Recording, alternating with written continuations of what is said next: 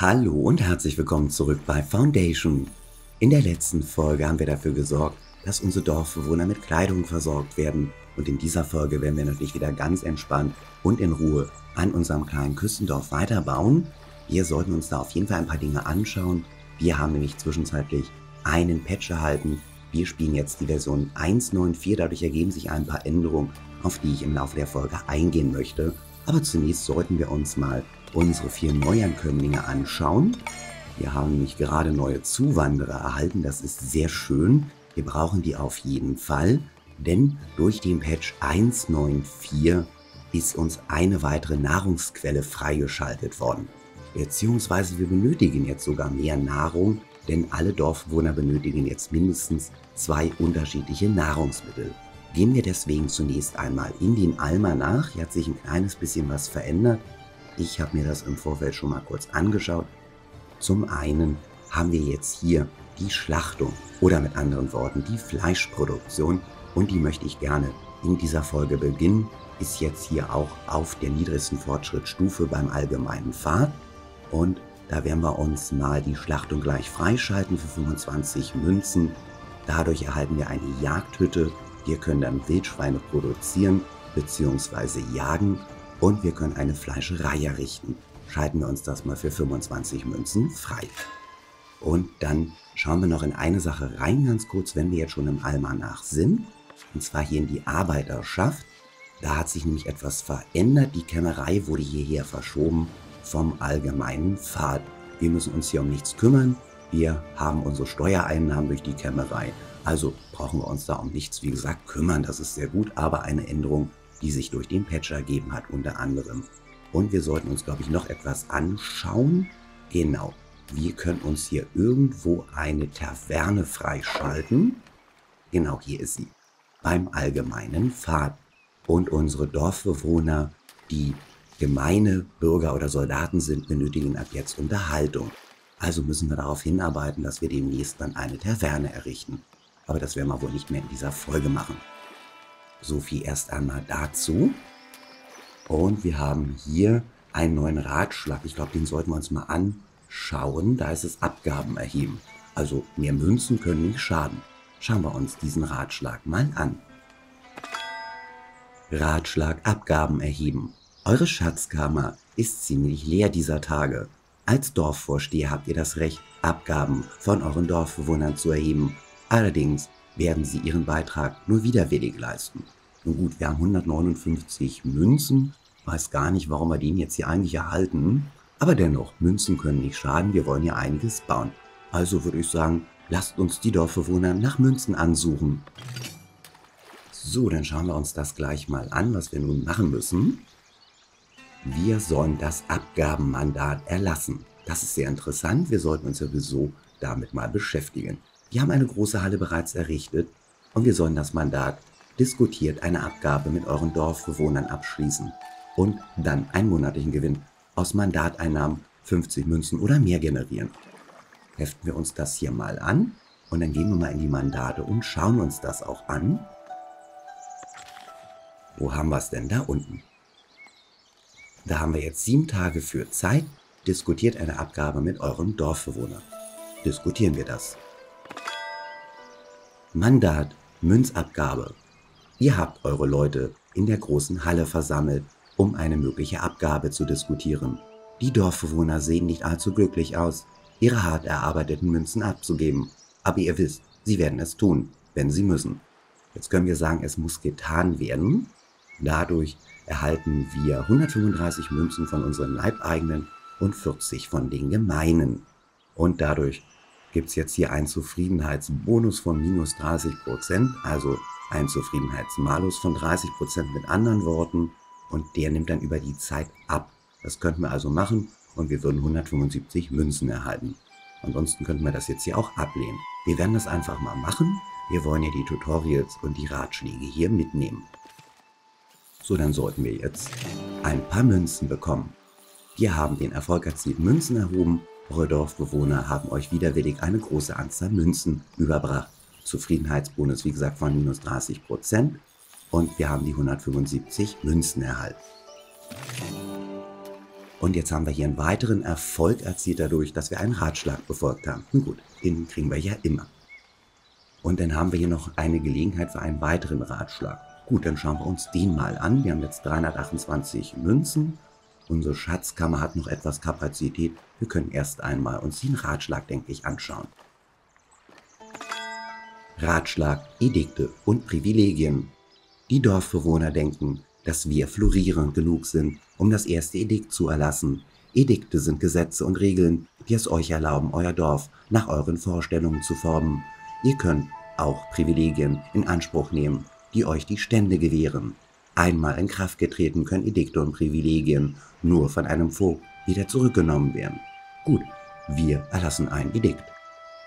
So, dann schauen wir uns das auch gleich mal an. Und hier kann man noch etwas sehen. Wir haben jetzt die Hilfetexte etwas anders präsentiert bekommen.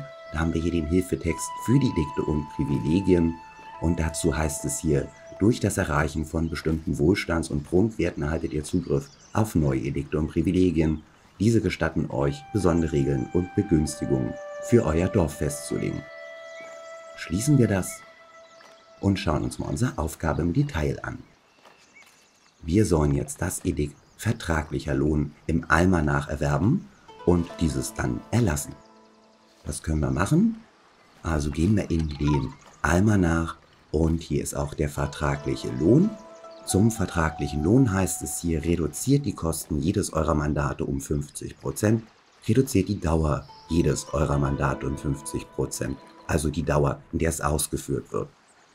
Dann können wir uns das jetzt hier mal für 100 Münzen freischalten. Wir haben ja gerade um Münzen ersucht.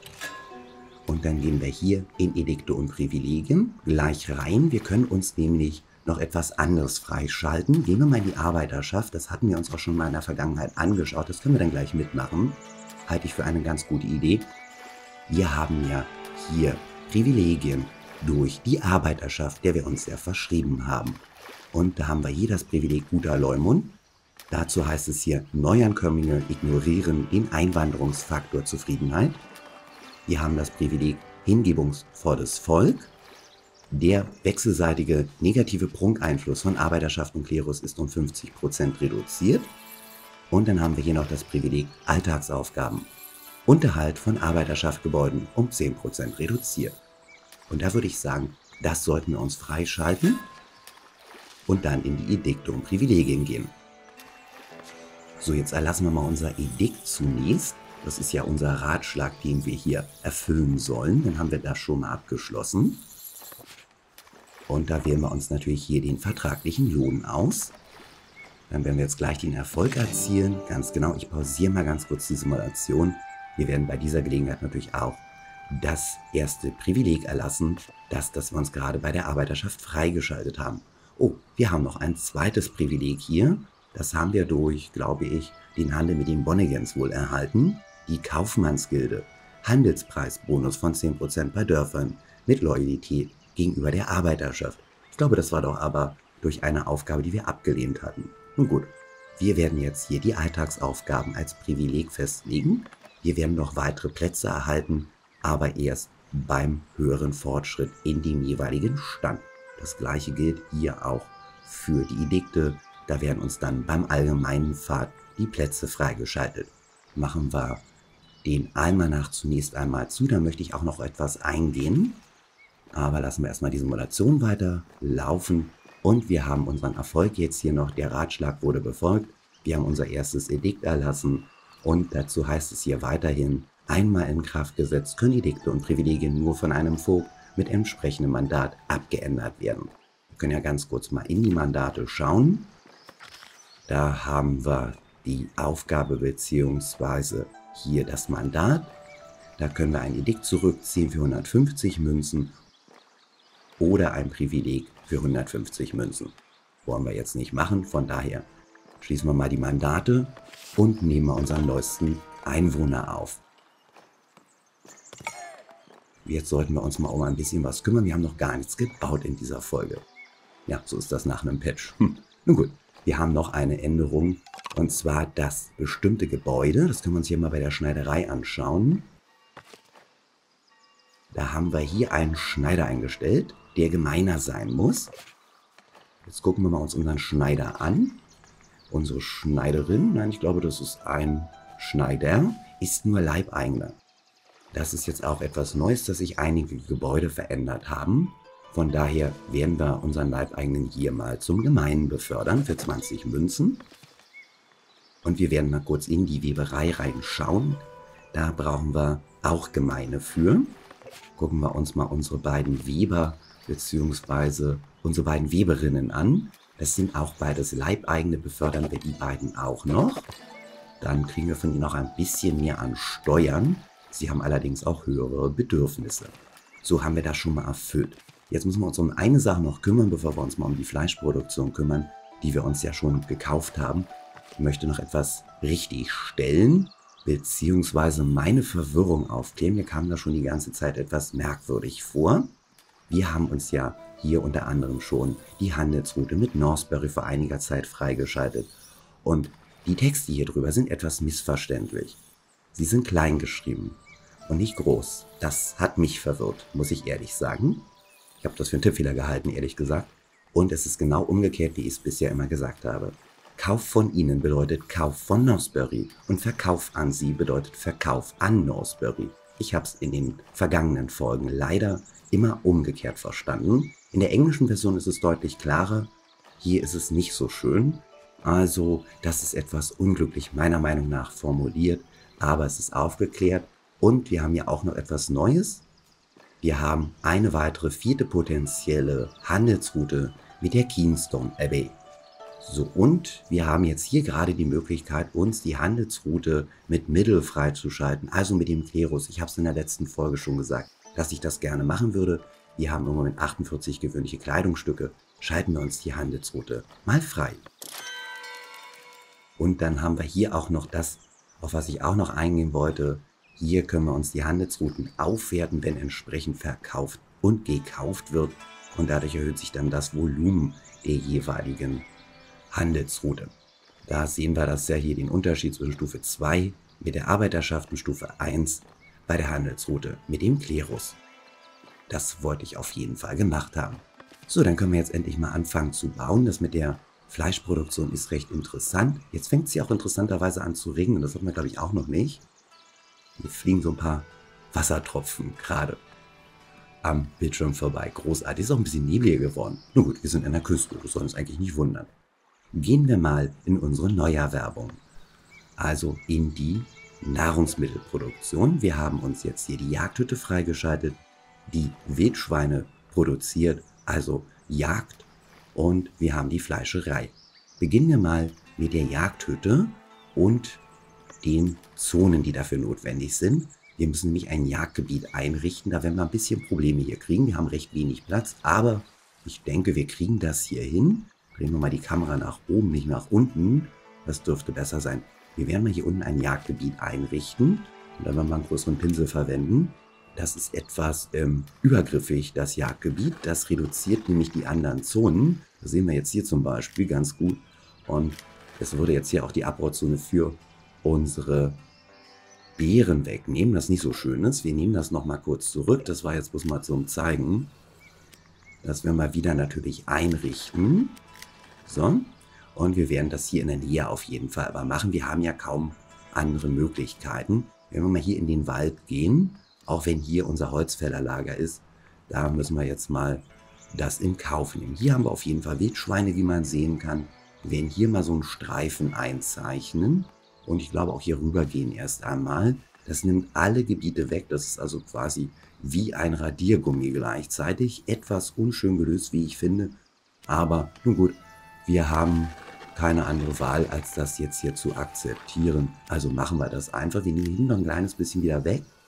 Ich möchte auf jeden Fall die Kirche demnächst erweitern. Ich hoffe, wir kommen dazu schon in dieser Folge. Aber wir haben jetzt schon so viel Zeit mit den Änderungen verbracht und mit dem, was zu lesen war, mal wieder. Nun gut, wir haben auch Privilegien und Edikte erlassen, also von daher auch nicht verkehrt. So, wir werden mal unsere erste Jagdhütte platzieren und uns die Grenzen des Territoriums dafür einschalten. Möchte ich hier hinten erst einmal machen. Und zwar so rum, das ist jetzt vorne, glaube ich. Hier sind gar keine Pfeile zu erkennen, wo der Zugang ist. Ist noch ganz neu. Ich denke, das ist ein kleiner Bug, den wir hier noch haben. Aber ich hatte mir das im Vorfeld schon mal angeguckt. Von daher ist hier, glaube ich, der Eingang, da wo hier die Balken rausragen. Bauen wir mal die Jagdhütte für 10 Münzen. Die Jagdhütte hat auch nur einen Arbeiter, also einen Jäger oder eine Jägerin. Und daher würde ich sagen, wir haben fünf arbeitslose Dorfbewohner. Bauen wir gleich eine zweite Jagdhütte daneben. Hier in der Nähe, ich würde sagen hier in der Nähe unserer Sammlerhütte, damit das ein bisschen interessanter aussieht, machen wir das hier. Lassen wir noch ein kleines bisschen Abstand. Platzieren die zweite Jagdhütte daneben. Dann können sich unsere Baumeister darum kümmern. Und dann werden wir natürlich auch noch eine Fleischerei errichten müssen und einen Speicher. Wir haben ja im Moment eigentlich, naja, unsere Speicherplätze schon ausgenutzt, ausgereizt. Und wie man sehen kann, die Fleischerei hat wieder einen Lärmradius. Also die sollten wir jetzt nicht unbedingt hier an der Straße platzieren, sonst wäre das Haus hier beeinträchtigt. Machen wir das auch hier unten. Hier können wir dann gleich mal bei der Gelegenheit ein paar Bäume lichten. Gucken wir mal, wie das gut aussieht. Ich glaube, das könnte ganz nett aussehen. Da sind die Zugänge nach rechts, links und unten jetzt. Gehen wir mal hier an die Küste, lassen immer noch ein kleines bisschen Abstand und platzieren wir mal hier unten an der Küste unsere lärmende Fleischerei, die erste, für auch nur 10 Münzen. Ansonsten brauchen wir noch 10 Stein, 10 Bretter und 3 Werkzeuge. Das können wir uns alles ganz bequem leisten. So, und dann schauen wir mal. Ich sehe gerade, dass sich hier etwas bei den Namen getan hat. Unsere drei Baumeister heißen wohl anders. Hier haben wir einen Wirnd und einen Humphrey. Die kennen wir noch gar nicht. Das ist ja sehr interessant. Ja, schauen wir ganz kurz, wo ist denn unsere Bauhütte? Da ist sie. Aha, das ist interessant. Also das sind jetzt wohl Träger, die gerade aus den Lagerhäusern die Baumaterialien bringen. Das scheint eine kleine versteckte Änderung zu sein, dass die Baumeister das nicht alleine machen müssen. Und wir haben bereits zwei neue Dorfbewohner. Wir haben jetzt sieben Arbeitslose. Ich hoffe, die beiden Gebäude werden schnell fertig. Also die beiden Jagdhütten und dann auch die Fleischerei. Die Fleischerei müsste zwei Fleischer haben. Und dann können wir uns gleich noch um einen Speicher kümmern. Gehen wir mal in die Logistik und errichten hier vorne noch einen weiteren Speicher. Drehen wir uns den mal so hin, würde ich sagen. Das sieht, glaube ich, ganz nett aus. Wenn wir das denn hier in der Nähe der einen Jagdhütte haben, bauen wir auch den für 10 Münzen. Lassen wir das alles mal offen, damit wir das überwachen können. Wird schon wieder voll hier. Das wird sich auf jeden Fall ändern. Und dann werden wir gleich noch natürlich den Verkauf von Fleischprodukten auf unserem Markt vorsehen. Also werden wir einen weiteren Marktstand hier platzieren. Gehen wir hier rein bearbeiten das Gebäude und errichten einen neuen Marktplatz bzw. Marktstand. Also einen weiteren Lebensmittelstand. Mal gucken, wo wir den jetzt platzieren. Hier drüben sind ja unsere beiden anderen, die Bären und der Fisch. Ich würde sagen, da muss das da auch in die Nähe. Also machen wir das mal hier. Das sieht, glaube ich, ganz nett aus. Und das ist jetzt Fleischstand. Dann geben wir dem noch ein Zelt. Wir haben das rustikale Marktzelt hier noch nicht verwendet. Platzieren wir das mal hier. Und wir werden auch natürlich wieder ein Schild für einen Lebensmittelstand da dran platzieren. Machen wir das hier auf der Seite, dann sieht das auch hübsch aus. Wir wollen ja auch für ein bisschen Schönheit und ein bisschen Prunk sorgen in unserem Dorf. Bauen wir das. So, dann haben unsere Dorfbaumeister hier ordentlich zu tun. Dann können wir das eigentlich ein bisschen laufen lassen. Eine Sache würde ich auch noch gerne mitbauen. Wir sollten mal ganz gut schauen. Wir haben jetzt 112 Fische. Ich glaube, wir sind erstmal bei der Fischproduktion ganz gut, aber wir kriegen natürlich ständig neue Dorfbewohner. Von daher bauen wir doch eine weitere Fischerhütte hier in unserem Dorf. Ist eigentlich eine recht einfache Ressource, da brauchen wir kein Abbaugebiet festlegen. Und es rentiert sich auf jeden Fall, wenn wir das haben. Dann sollten wir uns auch nochmal unsere Speicher anschauen. Da müssen wir sicherlich noch was bei den eingelagerten Ressourcen verändern. Bauen wir die einfach hier neben den anderen Fischerhütten. Da ist auf jeden Fall genug Platz hier unterhalb des Steinmetzzells. Auch wieder für 10 Münzen. Sehr schön. So, also, unser Dorf Baumeister sollten sich mal ranhalten. Hier ist noch nichts fertig geworden, wenn ich das richtig sehe. Nein, aber hier die Jagdhütte ist fast fertig. Da fehlt bloß noch der Baumeister. Bei der einen und bei der anderen auch. aber die erste hier, die obere jetzt dürfte gleich fertig werden. So, dann schauen wir uns mal unsere Speicher an. Hier unten haben wir einen Speicher, wo Beeren und Fisch eingelagert wird und der ist nicht sonderlich gefüllt. Ich glaube, da können wir mal einen Platz für Beeren entfernen, beziehungsweise hier dann die Wildschweine und das Fleisch einlagern. Machen wir das mal. So, dass wir die Beeren, ja, das ist ein bisschen unschön, ich würde das gerne zusammenhalten, geht aber nicht. Also lagern wir hier Fisch, Fleisch, Beeren und Wildschweine ein. Hier ist ja auch die Fleischerei denn. Und ich würde sagen, hier bei dem Lagerhaus machen wir das dann auch, beziehungsweise dem Speicher, also dem Lagerhaus für Nahrungsmittel, machen wir das dann ebenso. Und wir haben ja noch einen weiteren Speicher hier an unserem Marktplatz. Schauen wir uns den mal an. Da können wir mal einen Platz für den Fisch wegnehmen. Und da wir hier nur den Verkauf haben wollen, genügt es, wenn wir hier wohl nur Fleisch einlagern. Das soll genügen. Hier neben haben wir ja die Bärensammler, eine der Sammlerhütten. Von daher ist es, glaube ich, ganz gut, wenn wir hier zwei Plätze für die Bären haben.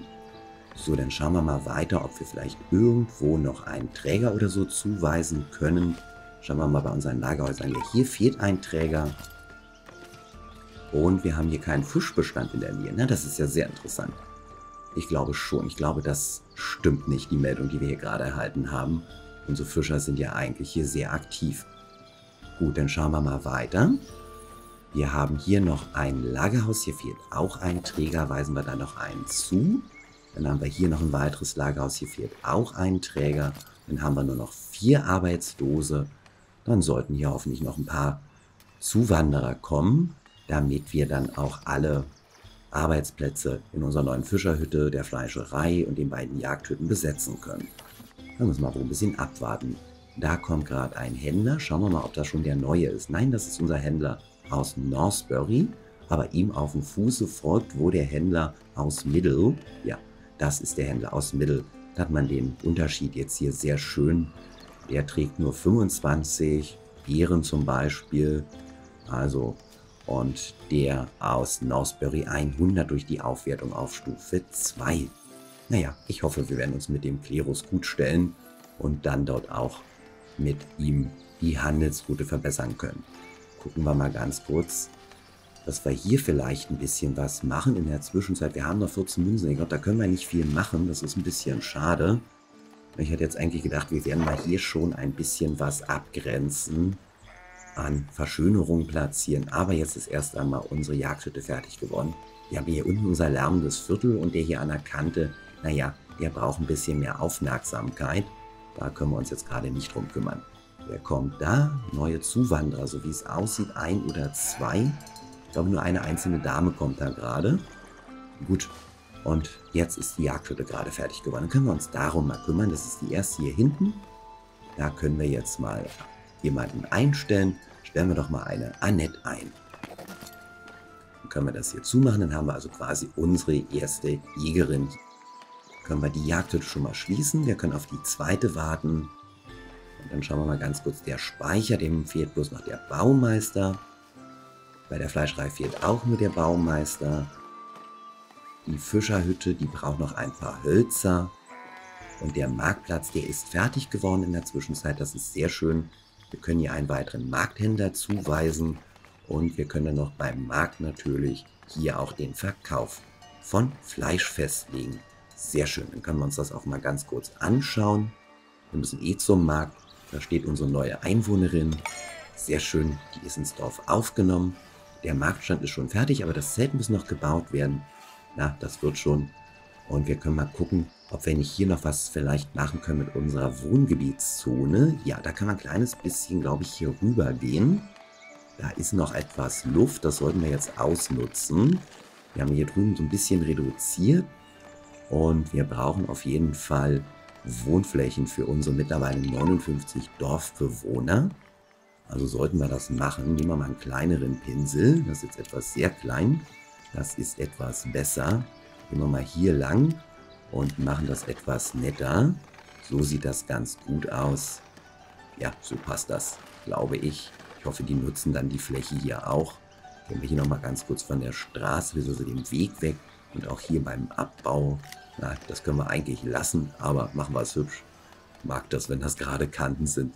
Soweit es geht jedenfalls. So, da wird auch direkt gebaut. Das ist großartig. Sehr schön hat sich das schon mal gelohnt. Das heißt, wir kriegen kein Problem mit eventuell zu wenigen Unterkünften für unsere Dorfbewohner. So, dann schauen wir mal, dass das hier langsam fertig wird.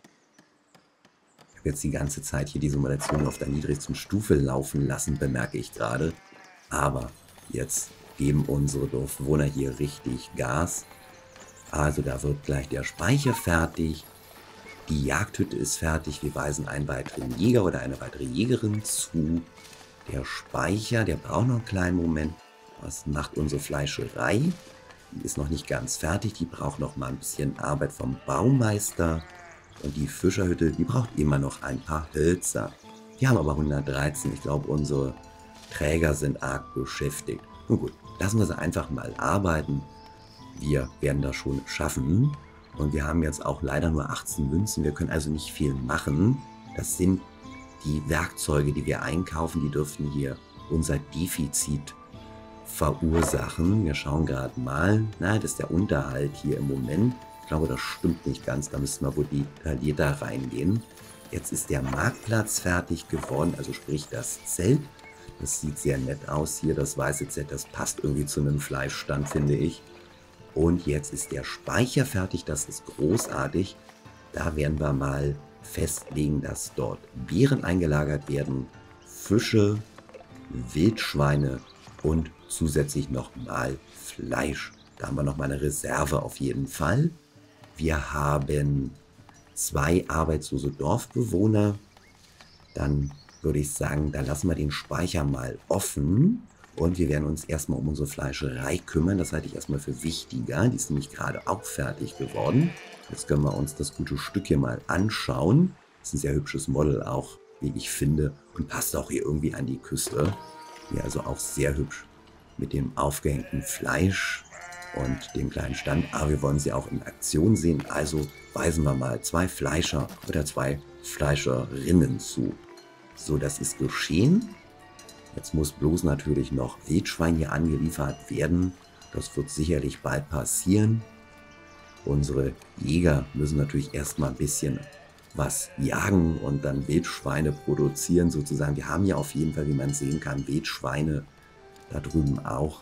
Ich hoffe, wir haben jetzt die Zone groß genug gemacht. Ich glaube, da können wir noch mal ein kleines bisschen nachbessern. Gehen wir mal mit der Jagdzone hier noch ein bisschen weiter. Da muss der Jäger hier hinten oder die Jägerin nicht so weit laufen. Und wir müssen dann eigentlich unser Waldgebiet noch etwas verändern. Aber wir haben nicht viel Platz. Wir haben auch nicht genug Münzen, um ein weiteres Territorium zu erwerben. Wir müssen erstmal mit dem knappen Platz hier auskommen. Naja, das wird schon. Und wir können mal gucken, ob wir jetzt hier demnächst dann noch weitere Dorfbewohner kriegen. Da großartig, sind gerade welche angekommen. Das sind, glaube ich, sogar vier. Das ist sehr schön. Das heißt, wir werden mal drei Träger zuweisen für unseren neuen Speicher hier unten an der Küste. Dann können die sich hier schon mal nützlich machen und die Waren verteilen. Wer weiß, vielleicht ist ja hier irgendwo schon ein Wildschwein. Da ist eins, sehr schön. Und dann kann einer der Träger das mal dann zur Fleischerei bringen. Das ist wohl auch schon passiert. Da wird gerade das erste Wildschwein wohl zu Fleisch verarbeitet. Und wir erhalten im Übrigen fünf Fleisch aus einem einzelnen Wildschwein. Das ist eine gute Quote, finde ich. Ja, sieht aus wie ein einzelnes Bein und daraus werden dann glatt, ja, hm, fünf Fleischstücke. Das ist sehr interessant. Diese Wildschweine hier bei uns, die müssen sehr ergiebig sein. Sehr gut genährt. Naja, haben wir das gesehen. So, wir haben unser erstes Fleisch produziert. Hier oben ist es auch jetzt zu sehen. Und dann sollte es zum Markt gebracht werden und dort verkauft werden. Machen wir auch die Jagdhütte hier zu würde jetzt gerne noch sehen, dass die Fischerhütte hier unten fertig wird. Dann haben wir uns hier in dieser Folge tatsächlich auch wirklich um die Fleischproduktion gekümmert. Ist sehr einfach gehalten, muss ich sagen. Also ich kenne da einen Mod für Foundation, den ein befreundeter YouTuber von mir gespielt hat. Da gibt es dann auch noch die Fleischproduktion mittels Vieh. Finde ich auch sehr interessant. Vielleicht wird das Konzept mal irgendwann ins Basisspiel aufgenommen. Das würde ich mir wünschen. Bei den Mods möchte ich nicht spielen, da dies immer wieder Probleme verursacht hat. Und daher habe ich mich entschieden, es ohne Mods zu spielen. Aber das habe ich, glaube ich, in der ersten Folge schon gesagt, dass wir das tun. Aber warum nicht, habe ich, glaube ich, nicht gesagt. So, hier wird auch bereits das nächste Wohnhaus errichtet. Das ist gut. Ja, wir haben jetzt ein paar Münzen übrig. Ich würde sagen, wir warten mal noch ab, dass unsere Fischerhütte fertig wird und wir werden uns noch ein bisschen um die Verschönerung kümmern. Gehen wir mal in die Dekorationen und machen hier an der Grenze zu unserer Handwerkergasse ein kleines bisschen was. Nehmen wir doch einfach hier mal so einen Zaun und drehen uns den mal ein bisschen zurecht und platzieren den mal hier vorne am Weg. Grenzen wir das so ein ganz kleines bisschen ab. Das kann auf jeden Fall nicht schaden.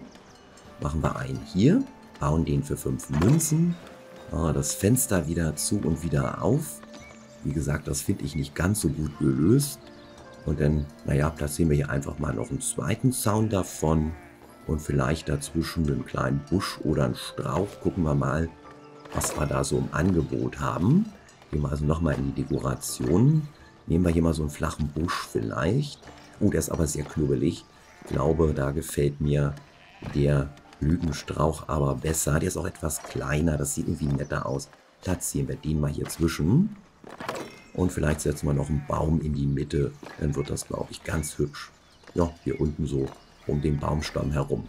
So, dann haben wir erstmal ein paar Münzen für die Verschönerung ausgegeben. Dann fühlen sich unsere Dorfbewohner hier unten auch wohl. Und das neu gebaute Wohnhaus hier oben am Markt, das ist gleich ausgebaut worden für die Gemeinen. Das ist auch nur ein kleines. Das ist nur für zwei Dorfbewohner, aber das ist das Haus, das Gemeine beziehen. Die strohgedeckten Häuser hier, die sind für die Leibeigenen im Übrigen. Haben wir uns auch noch gar nicht angeguckt, beziehungsweise ich habe es noch nicht erwähnt. Aber das haben wir jetzt hiermit auch nachgeholt, oder ich habe es jetzt nachgeholt. Ich finde, unser Dorf, das entwickelt sich ganz gut. Und wir müssen uns dann wohl in einer der nächsten Folgen dann noch um die Unterhaltung kümmern, also sprich die angesprochene Taverne. Jetzt schauen wir mal ganz kurz, wie es aussieht. Unsere Fischerhütte wird irgendwie nicht fertig. Da kommt der Baumeister irgendwie nicht hin. Ich habe eine Vermutung, woran es liegt. Wir werden den Baum mal kurz priorisieren und nochmal die Simulation etwas schneller laufen lassen. Es kann sein, dass sie jetzt hier an der Küste nicht richtig angesprochen wird, aber da wir eigentlich die 20 Holz geliefert bekommen haben, kann es einfach sein, dass unser Baumeister, der hier bauen sollte, das als zu weit weg empfindet und lieber hier die Wohnhäuser ausgebaut hat, am Markt gebaut hat und ähnliches. Das könnte die Ursache sein. Ansonsten kann es auch passieren, dass die Baumeister keinen Weg hierher finden, weil es jetzt irgendwie an der Küste ein kleines Problem gibt. Das hatte ich schon mal in einem Testspielstand. Ja, das scheint hier fast der Fall zu sein. Ich glaube, die müssen wir vielleicht nochmal abreißen. Die 20 Holz sind es ja nicht. Naja, wir werden erstmal unsere neuen Dorfbewohner aufnehmen. Wir haben wieder drei neue erhalten. Das heißt, wir können jetzt mal den Speicher mit einem vierten Träger versehen. Das mal zumachen. Und dann haben wir noch zwei arbeitslose Dorfbewohner. Naja, die müssen wir wohl erstmal arbeitslos lassen. Wir haben eigentlich gerade keine freien Arbeitsplätze, wenn ich das richtig sehe. Und hier bei einem Gebäude fehlen noch Rohstoffe. Das ist wohl eine der Fischerhütten. Ich befürchte tatsächlich, dass die hier zu dicht an der anderen ist. Wir werden die einfach mal abreißen. Und dann werden wir in der nächsten Folge eine neue errichten. Wir haben ja auf jeden Fall für neue Nahrungsquellen gesorgt, beziehungsweise jetzt für die dritte Nahrungsquelle, das dritte Nahrungsgut. Wir haben jetzt auch mittlerweile 21 Fleisch. Das ist ein bisschen schade hier. Was kosten die Fischerhütten nochmal? Schauen wir mal ganz kurz. Da ist die Fischerhütte. Naja, das hat uns ja 20 Holz und 10 Münzen gekostet. Das ist nicht ganz so tragisch. Und wir haben auch, glaube ich, den Zufriedenheitsmalus wieder abgebaut. Ja, sehr schön. Der ist weg. Wir müssen uns jetzt hier eigentlich nur noch um die Unterhaltung kümmern. Das gibt uns einen negativen Wert hier von 3%. Das ist noch ganz gut. Wir haben nicht so viele Gemeine in unserem kleinen Küstendorf. Für heute soll es das erstmal gewesen sein. Wir haben eine grundlegende Fleischproduktion hier etabliert. Wir haben unser Dorf weiter ausgebaut, den Markt weiter ausgebaut, viele neue Zuwanderer bekommen und wir haben uns die Handelsroute mit dem Klerus bzw. mit Mittel freigeschaltet. Ich glaube, das war ganz gut. Ich habe auch nochmal das mit der Handelsroute oder den Handelsrouten, wie die zu lesen sind, klargestellt. Das war mir wichtig. Mir kam das merkwürdig vor und da bedanke ich mich an dieser Stelle auch noch für einen Kommentar unter der letzten Folge. Der mich darauf nochmal hingewiesen hat. Wie gesagt, mir kam das die ganze Zeit merkwürdig vor, aber habe nicht weiter darüber nachgedacht und ein Blick in den englischen Client hat es dann wirklich ganz deutlich gemacht. Nun gut, also wie gesagt, danke dafür nochmal und ich bedanke mich auch dafür, dass ihr wieder bei dieser Folge mit dabei wart. Ich hoffe, die Folge hat euch gefallen. Hier mit den ganzen Änderungen, die wir jetzt hier in Foundation in der Version 1.9.4 haben. Und ich hoffe auch, dass ihr beim nächsten Mal wieder mit dabei seid, wenn es hier dann weitergeht mit unserem kleinen Küstendorf und wir wieder ganz in Ruhe und entspannt weiterbauen. Bis dahin, macht's fein, ciao ciao und bis bald.